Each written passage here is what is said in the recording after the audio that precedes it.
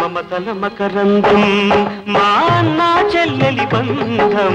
మమతల మకరందం మా అన్న చెల్లెలి బంధం.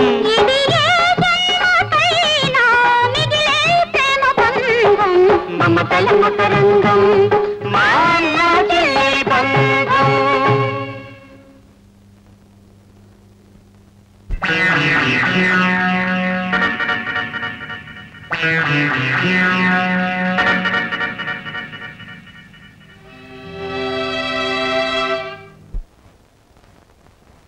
ఆగండి దొంగలా ఎందుకు పారిపోతున్నారు?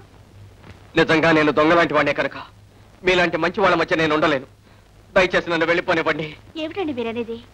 మీరందరూ అనుకున్నట్టు నేను పురుషోత్తమరావు గారి అబ్బాయిని కానండి. మరి? నా పేరు శేఖర్. నేను ఒక పేద రైతుని. రజనీ గారు నీతికి నిలబడి సత్యం మాట్లాడి జీవితం చేతిలో చావు దెబ్బతిన్నాను.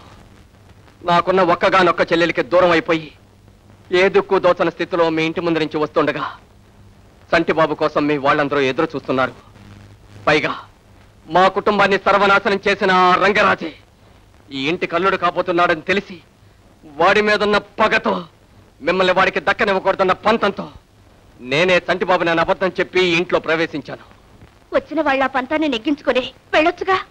వద్దు రజనీ గారు వద్దు. ఈ పగలు పట్టింపులు మనిషిలో ఉన్న నీతిని చంపేస్తాయి.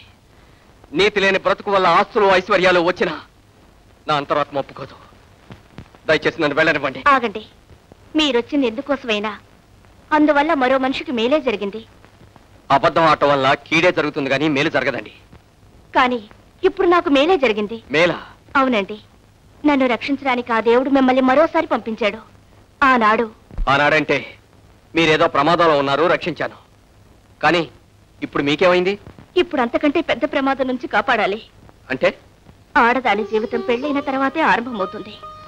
దొరికిన భర్త మంచివాడైతే ఆ స్త్రీ జీవితం ముచ్చపు చెప్పులో పడిన వర్షపు చుక్కలా ముత్యంగా మారుతుంది. లేదా చంటిబాబు లాంటి పిచ్చివాడితోనో రంగరాజు లాంటి దుర్మార్గుడితోనో ముడిపడితే ఆ జీవితం ముళ్ళ పొదలో పడిన మల్లె పువ్వే అవుతుంది. నా పెళ్ళి విషయంలో మా అమ్మా నాన్న పంతాలు పలుక్కుంటూ నా జీవితాన్ని పడంగా పెట్టాలని ప్రయత్నిస్తున్నారు. నన్ను రక్షించడానికి ఆ దేవుడే మిమ్మల్ని పంపించాడు. ఏమో నా స్వార్థంతో నేను ఇక్కడికి వచ్చాను. కానీ అది నేరమో పాపమో అని తెలిసిన తర్వాత నేను ఇక్కడ ఒక్క క్షణం కూడా ఉండలేను. నాకు ఇక్కడ స్థానం లేదు. ఆ స్థానాన్ని నేనిస్తాను. ఇచ్చిన పుచ్చుకునే అర్హత నాకు లేదు. సరే. అర్హత లేని ఈ ఇంట్లో మీరుండకండి. ఆనందం లేని ప్రపంచంలో నేను ఉండను. అంటే ఆత్మహత్య చేసుకుంటారా? ఇష్టం లేని పెళ్ళితో నిండు నూరేళ్ళ జీవితాన్ని నరకం చేసుకునే కంటే ఆత్మహత్య మంచిది. మీ మాటలతో కట్టివేసి నన్ను శాశ్వతంగా మోసగాన్ని చేస్తున్నారు. నేను ఈ అబద్ధం ఆడలేను. మీరాడే అబద్ధం వల్ల ఓ ఆడపిల్ల జీవితానికి మేలు కలుగుతుందనుకుంటే అబద్ధం చెప్పలేరా? సరే బలవంతంగా మిమ్మల్ని ఆపు చేయడం నాకు ఇష్టం లేదు. నా మీద ప్రేమ లేకపోయినా దయ్యుంటే ఇక్కడ ఉండండి లేదా ఇప్పుడే మీరు వెళ్ళొచ్చు.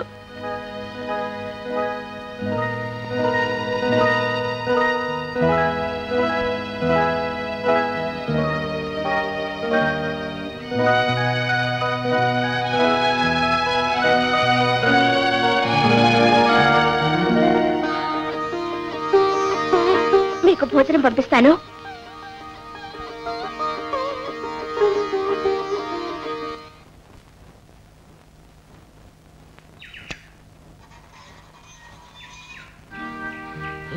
రేయ్ ఆర్ని. ఏంట్రా గురు? రాత్రి తెల్లవారులు ఇక్కడే తొంగున్నావేంట్రా?